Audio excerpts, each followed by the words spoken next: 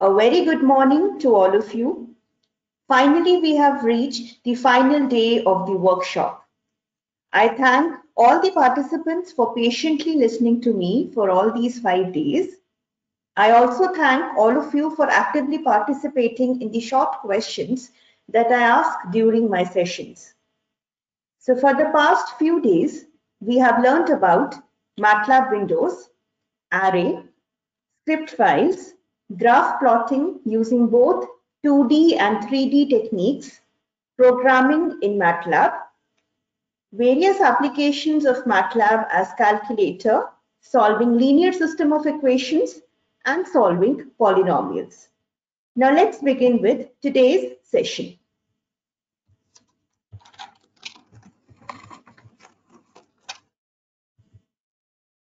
So the outline of my today's talk would be curve fitting, minimum and maximum of a function, how to solve algebraic equations, how to do differentiation and integration, and then solving ordinary differential equations. So let's begin with the first section that is curve fitting. Now, what is curve fitting? Curve fitting is a process of fitting a function to a set of data points.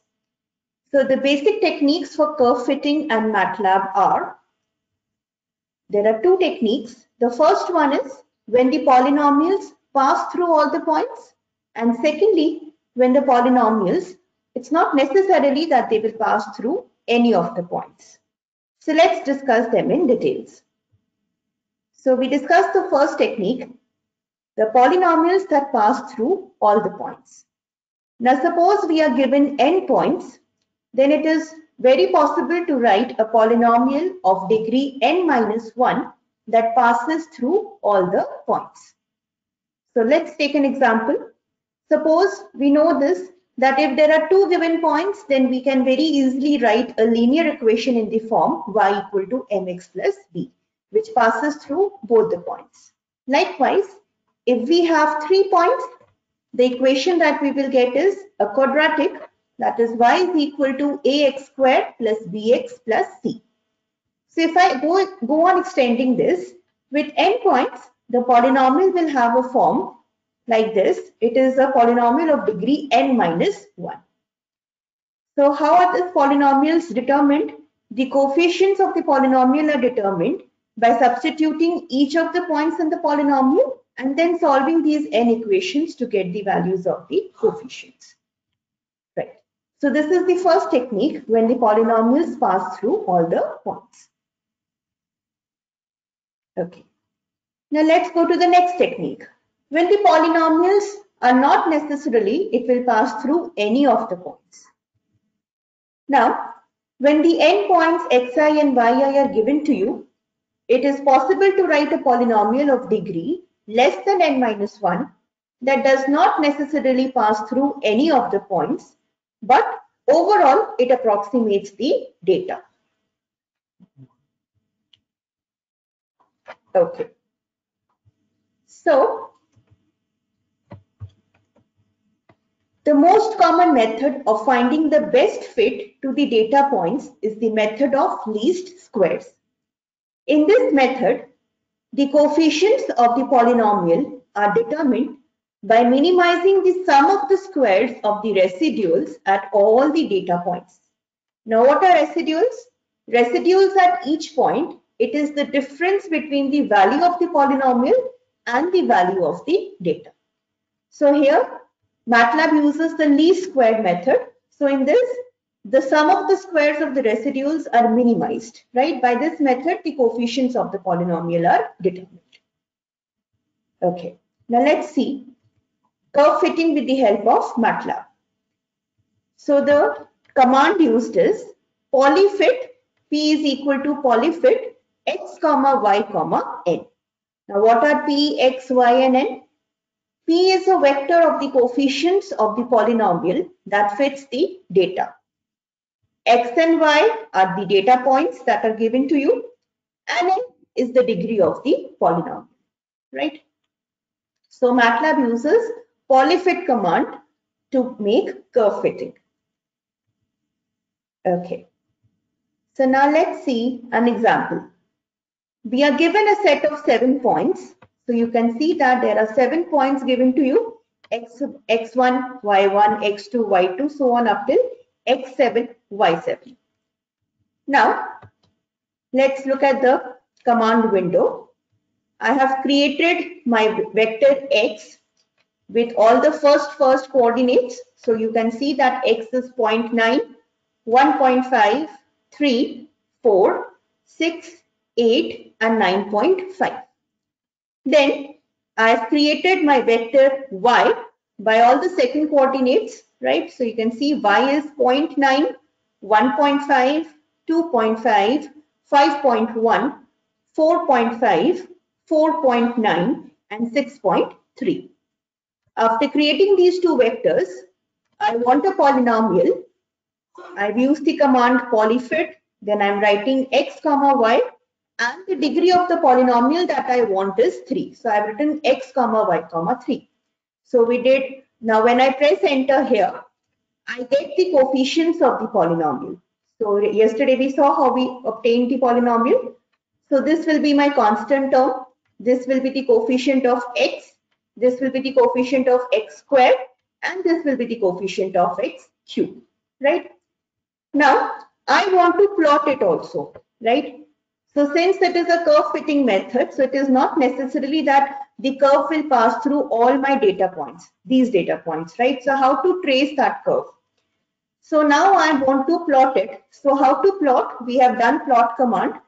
So for plot command, first of all, I'm going to plot my data points. So you can see at the last I've written plot x comma y and I also want to plot this polynomial also, right? So for that purpose, I am defining my vector xp. xp means the x coordinates of the polynomial. How am I obtaining it? I am taking this interval 0.9 to 9.5. I'm taking the first term and the last term of this expression and I am giving the spacing as 0.1 right? So I've written 0.9, then 0.1, then 9.5. So now there is a question. So let's see who all can reply this. Okay, so the question says,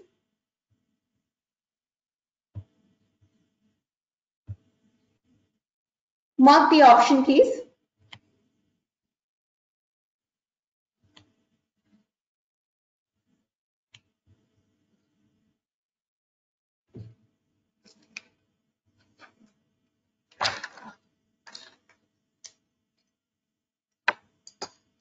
So if you remember, we did this command yesterday. So let me see how many of you remember it. So I close the question now. So 64% of you have marked the option as second one. Yes, and it is the correct answer. The polyval command will calculate the value of the polynomial at all these data points, right? Okay. So I have written in the next line, yp is polyval p comma xp. So what will this command do? It will create, it will calculate the value of the polynomial, this polynomial at all these data points. And whatever values are calculated, they will be stored in y, right? Then I'm writing plot x comma y comma, I've written a circle symbol here and then I'm writing xp comma yp. Okay, another question. Let me go back to the questions. And the second question here is, what is the meaning of this circle symbol here? Please mark your option.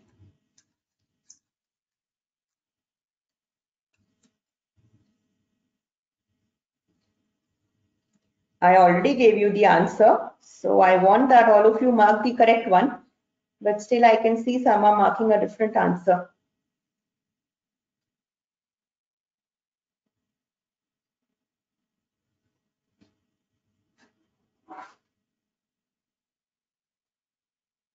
Okay, so I close the question.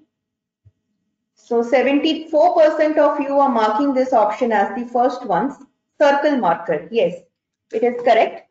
It is the circle marker, right? Okay. Now, so now it is plotting x comma y with a circle marker and then I'm written xp comma yp. So if you remember the plot session, there will be one graph which will be plotted as y versus x and there will be a second graph which will be plotted as yp comma xp, right? The y versus x plot will be marked with circles and xp comma yp since I'm not giving any line specifier, so this will be marked as a solid line, right? Okay. So there will be two graphs. One will be the data points and the second one will be the polynomial that we have done with curve fitting. So let us see. So this is the graph obtained when n is equal to 1, right? We had seven data points. So the maximum value n can take is 6. So we can give n equal to 1, 2, 3, 4 up till 6. So you can clearly see that the circle marker was the data points and the solid line, the red line, this is your curve fitting, right? The polynomial that we have obtained. And you can see that the polynomial is not necessarily passing through all the points, right? Let us see what happens when we increase the value of this n, when we increase the degree of n, right? This is the graph obtained when we put n equal to 2. Likewise, this is for n equal to 3. Then we have this for n equal to 4. Next one for n equal to 5. Now you can see in every graph, some of the other data point are missed, right? But as the degree of n increases, the graph mostly passes through the data points, right? And let us see what happens when n becomes equal to 6. Can you see it's a perfect curve fitted here?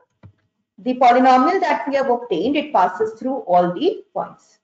That means with n equal to 6, we get the best curve, right? Okay. So that was with a polynomial.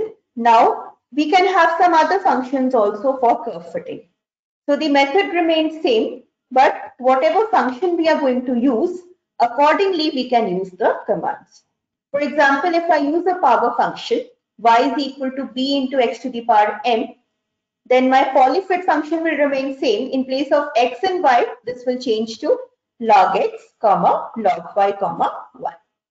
Similarly, if we have an exponential function like y is b into e raised to power mx, then we will use the polyfit function as x comma log y comma 1. And if we have y b into 10 to the power mx, then it will be polyfit x comma log 10y comma 1. Likewise, if I have logarithmic function, these are the two logarithmic function that we can have. So accordingly, these will be your polyfit function form. And then if I have a reciprocal function y equal to 1 upon mx plus b, then the polyfit function will act on x comma 1.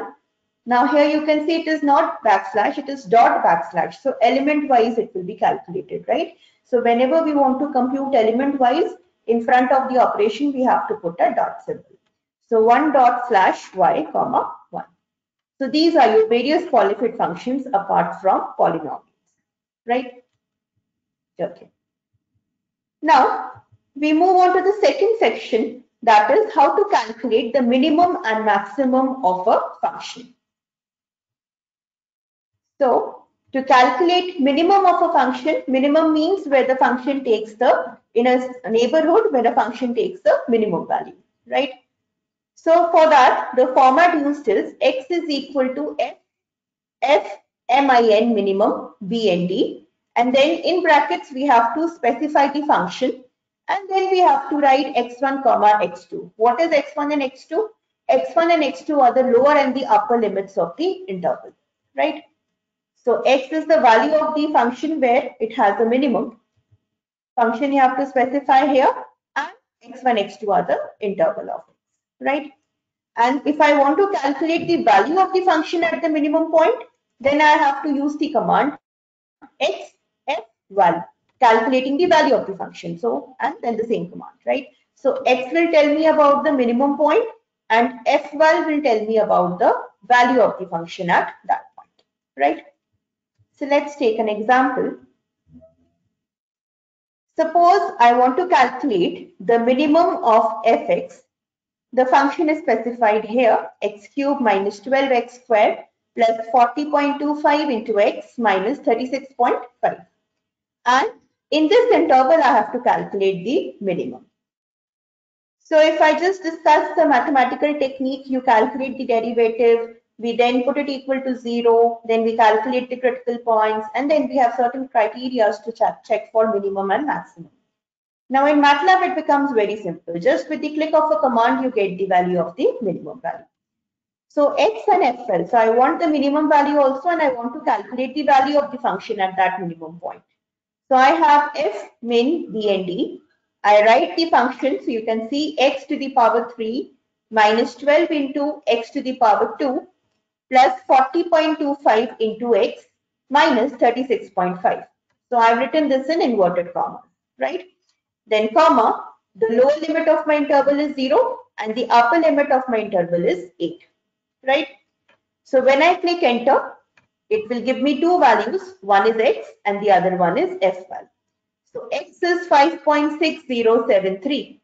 So this is the local minimum and F12 minus 11.8043. This is the value of the function at the local minimum point, right?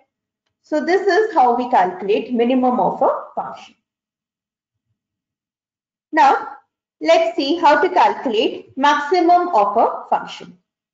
So the entire process is same, just the change is that in place of the function, we will multiply the function with minus 1. So we will get the local maximum. So you can see the same command is used. X is f min bnd. In place of function, I am writing minus function. And same the intervals x1 and x2. So now let's take the example. So I want to calculate maximum of fx in the interval 0 less than equal to x less than equal to 8. So you can see the same thing I've written. Just in place of the function, I'm putting a minus sign in front of it. And then when I press enter, so you can see that I'm getting the value of x. So x gives me the local maximum value. Likewise, f12 this gives me the value of the function at the local maximum, right? Okay. Next, we come to the third section, that is how to solve algebraic equations. So in my uh, first few lectures, I told you about how to solve linear system of equations. Now we will see how to solve algebraic equations.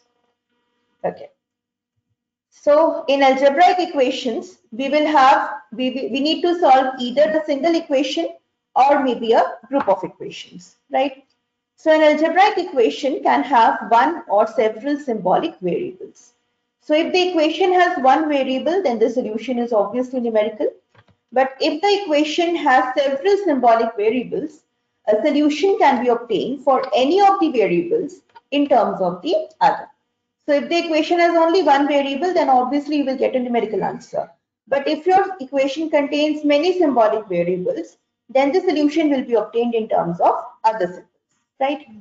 So what is the command used? Command used is h is equal to solve the equation. You write the equation here, right? Or you can use h is equal to solve equation comma variable. Now where are these two commands used? Let us see. They have different specific purposes. So let's see. Solving a single equation with MATLAB. Now look at this equation. Solve e to the power 2z minus 5 is equal to 0. So how many variables do you see in this equation? There is only one variable. So automatically the answer is going to be a numerical answer, right? So look at the command window. So whenever I'm solving algebraic equations, I have to symbolize my variable. To symbolize my variable, the command used is syms, right? So I'm letting it know that this equation contains a symbol and that symbol is Z, right? Then I'm writing h is equal to, the command was solve, solve exponential 2 into z minus 5. So I have written the equation, right? And now when I press enter, I get h is equal to log 5 upon 2. So my answer to this equation is log 5 by 2. You can easily see it. When you put 5, you take 5 to the other side, you get e to the power 2z is equal to 5. When you take logarithm on both sides, you will get 2z is equal to log 5. So z is equal to log 5 by 2, right? So this is the simplest equation how we have solved. Now let's look at the second example. Solve x squared minus x minus 6 is equal to 0. So the ones who have a maths background, they have they might have calculated the answer also. Now again this equation has one symbol. So in the command window, I will write SYMSX. Then I'm naming the function. You can also write solve and you can write the equation here, but I've just named it as F1. So I'm writing F1 is equal to x squared minus x minus 6. Then I want to store my answer in A. So I'm giving A is equal to solve F1. When I press enter, I get the value of my equation as minus 2 and right. So this is how we solve an algebraic equation. Okay. Let's look at the second one. Now, how many variables do you see here? There is A, there is X, and there is B. So there are three symbols, right? So now it's your choice. You can either, uh, now if nothing is written here, so I can solve X in terms of A and B, I can solve A in terms of X and B. I can solve B in terms of A and X, right? So let's see how to solve each of these expressions. So first of all, I have to symbolize what are my symbols. So I will say SYMS A space B space X, right? Then I have specified the equation as F2 A into X square plus 5 into B into X plus 20. Now, if I give the command m is equal to solve f2, so whatever uh, whatever value it solves f2 for, it will be stored in m. But see, I haven't mentioned anything, whether it wants to solve x in terms of the other variables or a or b. So if nothing is mentioned here, by default, MATLAB will always calculate the value of x, right? So when I press enter here, so you can see that m is equal to these two values. And you can see that the answer is in terms of b and a. That means the value of x is calculated from here, right? Now, look at the second command. n is equal to solve f2 comma a. So in my uh, previous slide, I told you about two equations, two commands. One is solve equation and the other one is solve equation comma variable. So if I mention the variable along with it, what does MATLAB do?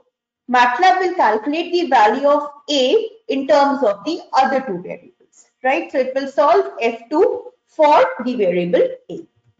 So here it has calculated the value of A is minus 5b squared plus 20 divided by x squared, right? Similarly, I have written P is equal to solve F2 comma B. So it knows that it wants it solve F2 for the variable B. So it has calculated the value of B and it has stored in P, right? So if I mention the variable along with it, it will calculate that variable in terms of the other variables. But if I don't mention the variable, then by default, it will calculate for X, right? So this is how to solve a single equation with MATLAB. Likewise, we can solve a system of equations, right? Now, how to solve a system of equations? Again, if the number of equations and the number of variables are same, then your solution is always numerical. But somehow, if the number of variables is greater than the number of equations, then the solution is symbolic for the desired variables in terms of the other, right? So if the number of variables and the number of equations are same, then the solution is always numerical. But if the number of variables is greater than the number of equations, then the solution is symbolic for the desired variables in terms of the other. Now let's look at the format of solving a system of equations. So we written output is equal to solve equation 1, equation 2, so on up till equation n. So if we have n equations, by putting a comma in between the equations, we can write them and the command is same, it is solve. This is one command. The second one is output is equal to solve equation 1, equation 2 up till equation n, variable 1, variable 2, so on up till variable n. Now let's see where is this command used and where is this command used. Let's look at the next slide. Solve 10x plus 12y plus 16y, 16t is equal to 0 and 5x minus y is equal to 13t. So you can see there are two equations in x and y and there is another variable t, right? So I've written s, y, m s. The symbols in my equation are x, y and t. I am marking my first equation by capital A. A is 10 into x plus 12 into y plus 16 into t. And I'm marking the second equation with the letter B. B is 5 into x minus y minus 13 into t. And then I've given in square brackets xt comma yt is equal to solve a comma b. That means whatever the equations a and b are solved, whatever answer is going to come, it will be stored in xt and yt. Since there are two equations, so we will get the values. There are two variables also. So I will get my answer and it will get stored in xt comma yt. So when I press enter, I get xt is 2 into t and yt is equal to minus 3 into t. So you can see I've just written the equations, right? So this is equation 1, this is equation 2. And the equations are solved, x and y are solved in terms of the variable t. So again, I haven't mentioned any variable here. So by default, MATLAB will solve for the variables x and y. Okay. Now, let's take another example. Look at this example, the same example. And now, the same thing, since x, y, t, then I've assigned a and b. Now I have changed my answer. I'm writing t underscore x, y underscore x. And then I'm writing solve a comma b comma y comma t. That means I have mentioned my variables. That means what is the meaning of this? That MATLAB will solve equations for a and b and the values of y and t will be calculated in terms of x. So I want the answers of y and t. So when I press enter, you can see that the first value obtained is minus 3x upon 2 and the second value obtained is x by 2. So this is the value of y and this is the value of right? So it's your choice how you want to solve your equation and accordingly you can place your variables here, right? And I'm again specifying that if the variables are not mentioned, then it will be solved for x and y only, right? Okay.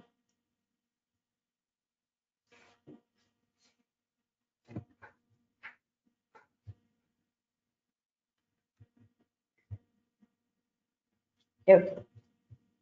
Now, the third section, how to differentiate, right? This is a very annoying thing from the point of view of students, differentiation and integration. So let's see how to calculate these values easily using MATLAB. Okay. Now for differentiation, the format used is diff and you write the function that you want to differentiate, right? So diff s or you can also write diff s comma the variable. I'll tell you where are these specifically used, both the commands.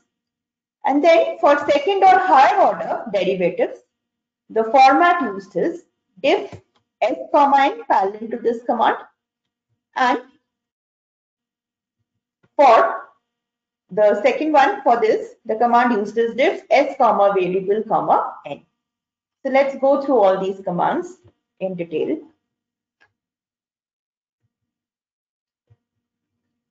suppose the question says find the first second third derivative of the function fx equal to e raised to power x to the power 4. Let's see how MATLAB calculates the derivatives. So again, in differentiation also, I have to tell about the variable, the symbols. So this function contains the variable x. So I'm writing it as syms x. Then I am marking my function as f is exponential x to the power 4. Then by simply giving the command diff f and when I press enter, I get my answer as 4 into x cube into e to the power x to the power 4. Isn't this the answer of the first derivative? So you can see just by a click I get my answer. Now when I write diff f comma 2, this will calculate the function's second derivative.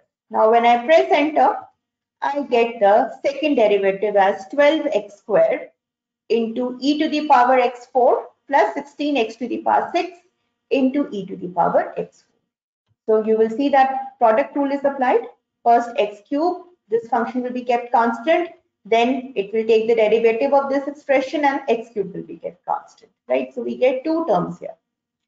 And now when I press diff f comma 3, it will calculate the derivative of the function f, the third derivative, right? And you can see that these three terms are obtained as the third derivative.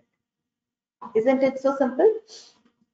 So just with the help of diff, we get the values of the derivative, right? And along with it, if I don't mention anything, it is always going to calculate the first derivative. And if I want to calculate higher derivative, I have to mention the order of the derivative here, right? Okay. Now, let's look at another example.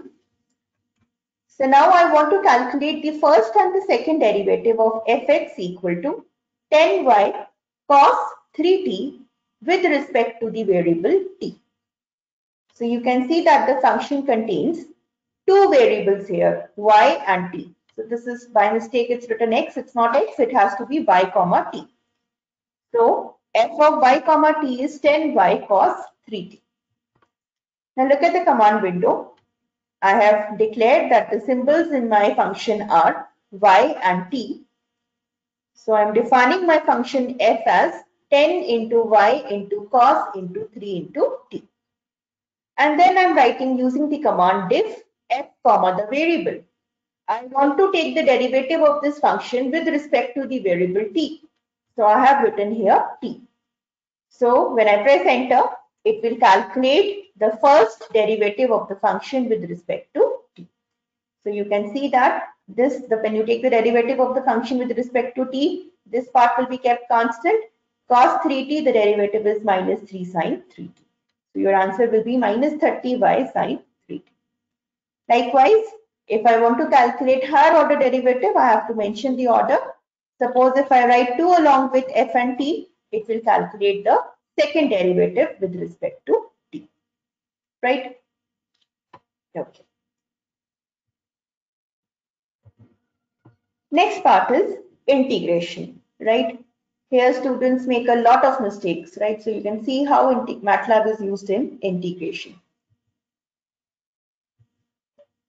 Now there are two types of integration. One is indefinite integral and the second one is definite integral. So for indefinite integration, the format is int and in the brackets we write down the function or you use int s comma variable. Likewise, for definite integration, the format used is int s comma a comma b so a and b in definite integrals, we have a lower limit of the integral and the upper limit of the integral. So the lower limit of the integral is a and the upper limit of the integral is b. Or we can use int s comma variable comma e comma b. So let's look at all the four commands, how it is used in MATLAB. Let's go through indefinite integration first. Look at this function. Sx is 2 cos x minus 6x. Now, I have declared first of all that my function contains the variable x. So I'm writing syms x. Then I'm declaring my function as s equal to 2 into cos x minus 6 into x. Now, I have declared that S1 is equal to int S. So whatever is the answer of my integration, it will be stored in S1. So S1 is int S. So when I press enter here, I get the answer of my integration as 2 sine x minus 3x. Right? So you can easily see it also. You will get this as the answer. Let's look at the second example. Find the integral of r. Again, it's not x by mistake. It's it should be y comma t. Find the integral of the function r equal to 5y square cos 4t with respect to t. So I want to integrate my function r with respect to t. Look at the command window. First of all, I'm declaring my variables. In my function, the two symbols are y and t. I have stored my function in r, capital R, as 5 into y square into cos 4t. Then I'm writing r1 is int r. So here, what is done? If uh, there were two variables, right? If I don't mention with, with respect to which variable I want to integrate, by default, MATLAB will always integrate with respect to y, right? So you can see when I press enter, R1 is 5 into y cube into cos 4t divided by 3. So if nothing is mentioned about the variable, if x is present, it will be done with respect to x. If y is present, it will be done with respect to y. But now in the next step, see I have written R2 is int R comma T. I have mentioned the variable T. So it will integrate R with respect to the variable T now. It will not integrate with respect to Y. So you can see that 5y square is kept constant. Integration of cos 4t will be sine 4t divided by right? So whether you are doing differentiation or integration where more than one variable is present, so if you don't mention the variable, by default MATLAB will integrate or differentiate it with respect to x and y. But if you want it to be done with respect to some other variable apart from x and y, then you have to specify the variable along with it, right? Okay. Now let's see how is definite integration done. So look at this example. Integrate 0 to pi sine y minus 5y square with respect to y. So again, I'm declaring my symbol as y. Then I've written r is sine y minus 5y square. Then int, I have specified the function. Then I'm writing the lower and the upper limit. So the lower limit is 0 and the upper limit is 5. Now when I press enter, my answer is 2 minus 5 pi raised to power 3 divided by 3. Right? So you can see that there are no hassles in this. So just with the help of a click, I'm able to calculate my answer. Right? Okay. Now we move on to the last section that is solving ordinary differential equations. Again, a very useful technique now, how to solve an ordinary differential equation? An ordinary differential equation can be solved by using the format d-solve the, we write the equation there, right? So for differential equations, the um, format is d-solve. And if you are simply solving algebraic equations, then the format is only solve, right? Or you have d-solve, you write the equation and the variable along with it right? Now there are certain points that you have to keep in mind. So please listen to it very carefully while we are solving a differential equation. EQ means the equation that needs to be solved. So variables in this equation do not have to be created as symbolic objects. So while we were doing differentiation, integration, or we were solving an algebraic equation, in the command window, my first line was SYMS and you declare your symbols. But now when you are solving an ordinary differential equation, you don't have to create any symbolic objects, right? Okay. Then any lower, any letter, whether it is lowercase or uppercase, except D can be used for dependent variables, right? So if I have dy by dt, that means we are taking the derivative of y with respect to t.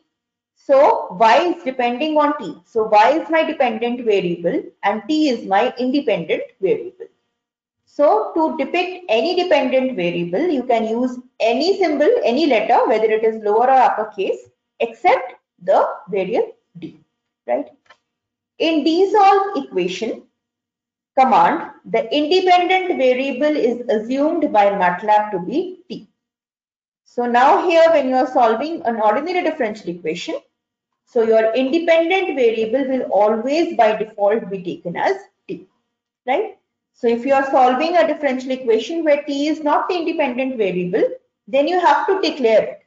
Otherwise, it will be always done with respect to t.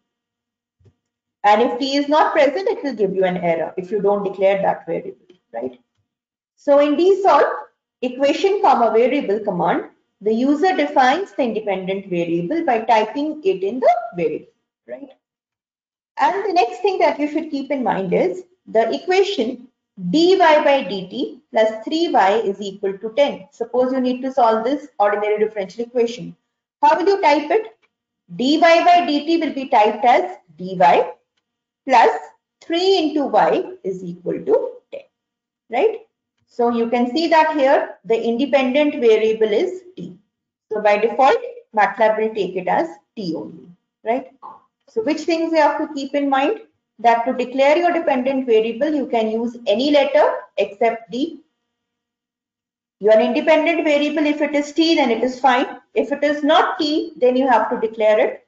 You have to write it in the variable and then dy by dt is written as dy. You will not write d into y. It will be written as dy, right? So this is a common mistake that we do. We write here d into y. It's not d into y, it is dy. Okay. Now let's go through the examples. Suppose we are solving ds by dx equal to a into x square. So you can see that S is my dependent variable. S is depending on X. So X is my independent variable. So there is a question here. The question says,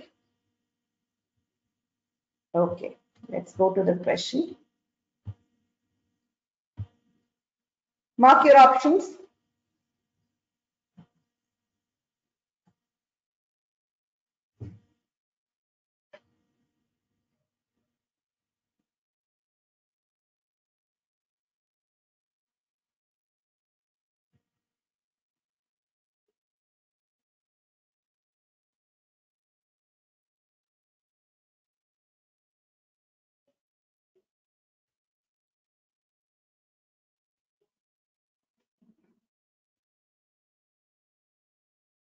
Okay, so I close it.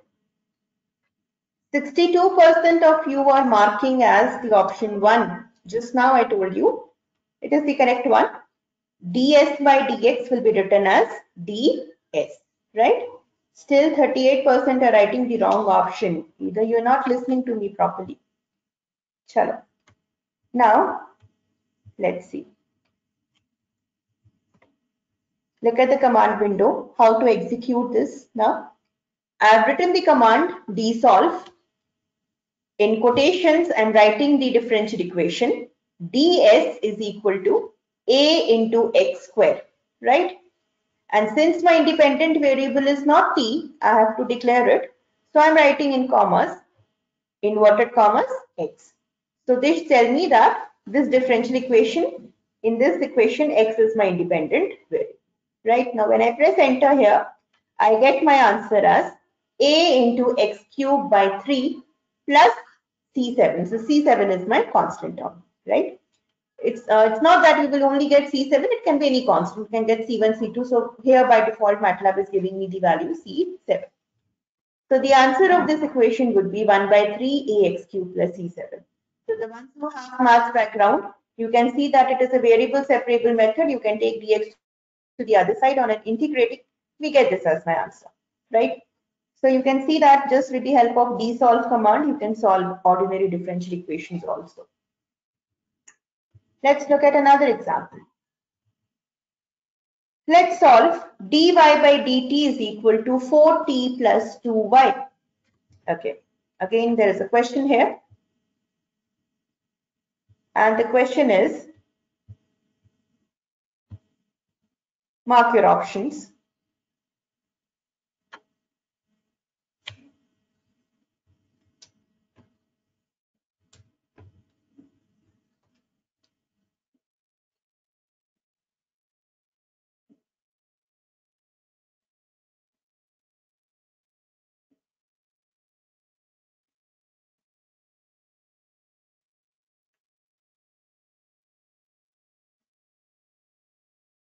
Okay, so let's close this.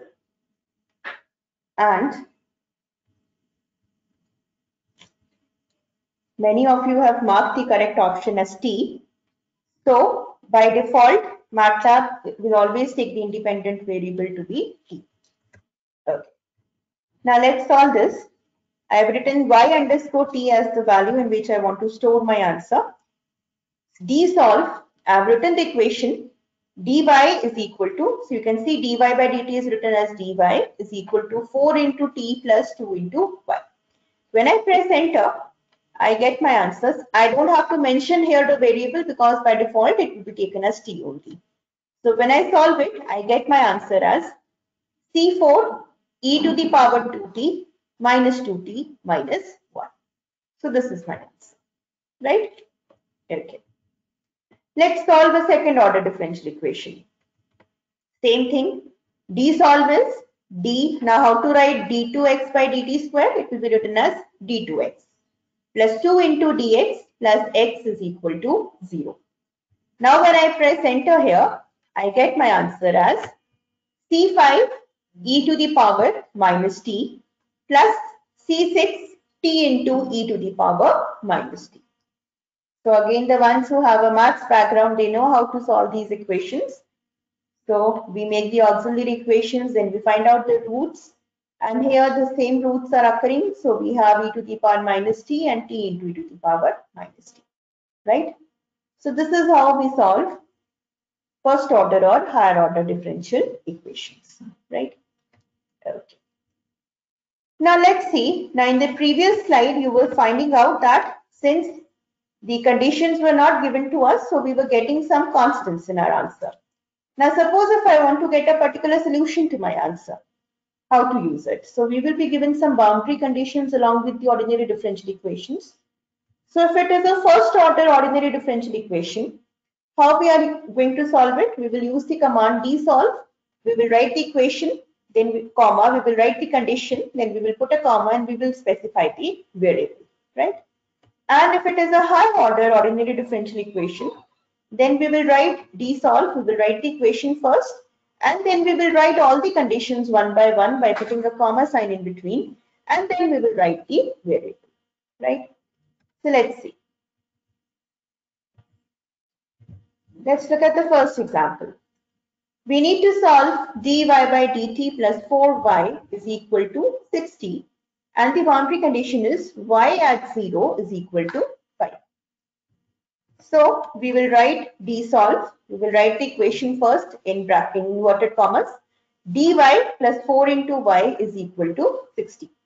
Then comma, we will write y at 0 is equal to 5. This is my boundary condition, right? And again, since by default it is taken as t, so I don't have to mention the variable. Some, suppose this equation was with respect to x dy by dx. Then again, after putting a comma sign, I have to write in quotations x also, right? Now, when I press enter, you can see that this is the answer and there is no constant term because the constant has been evaluated using the boundary condition y at 0 is equal to 5, right? So my answer is 15 minus 10 into e to the power minus 40, right? Okay. Similarly, let's solve a second order differential equation with two boundary conditions. You are given d2y by dt square minus 2 dy by dt plus 2y is equal to 0. The boundary conditions are y at 0 is 1 and dy by dt at t equal to 0 is also equal to 0. So same thing, d solve in inverted commas, I'm writing the equation d2y minus 2 into dy plus 2 into y is equal to 0. Then I'm putting a comma. Then again in inverted commas, I'm writing the first boundary condition y at 0 is equal to 1. Then again a comma. The second boundary condition. The second boundary condition says dy by dt. So I'm writing it as as dy. And then the value of t is 0. So in brackets, I'm writing t is equal to 0. Equal to, what is the value? The value is 0. Right? And now again, I don't have to mention the variable because it is t only. So by default, this is only taken. So when I press enter here, I get my answer like this. So again, you can see there are no constants in this answer. So the answer is y is equal to e raised to power t cos t minus sin, right? So this is how we solve ordinary differential equation without boundary conditions and with boundary conditions, right? Okay. So with this, we have come to the end of this workshop. So before I end, there are few important notes. Firstly, all the participants are requested to send their photographs, preferably in the formals, while watching this webinar in front of their laptops to my mail address we will be preparing a collage and sharing it with you all. Secondly, you are requested to fill in the feedback forms that will be circulated today. And thirdly, on behalf of Dr. Mohit Kumar Kakkar, Assistant Dean, Department of Applied Sciences, I want to convey thanks to all the participants for attending this five-day long workshop. Special thanks to IT department for the online support and he has also conveyed his heartiest thanks to me. Welcome, sir. Another important announcement, our department will be organizing a FDP on research paper writing using LaTeX, right? Let me share the screen with you.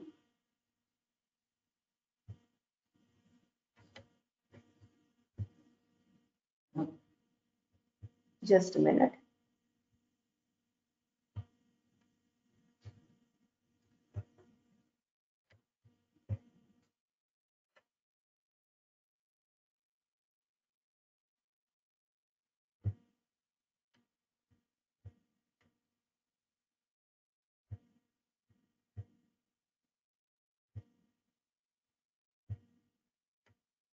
I hope the brochure is available, seen, uh, is visible now.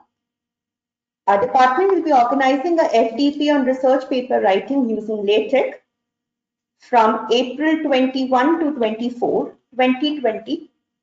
Those of you who are interested may kindly get registered. You will be mailed about this FDP. So I thank all the participants for listening patiently to me. Take care till we meet next. Bye and stay safe. Thank you.